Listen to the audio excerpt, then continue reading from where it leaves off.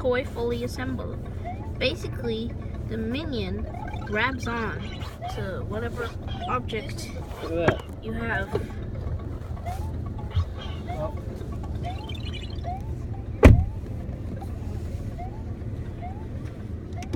Just like this. It's hanging on tight.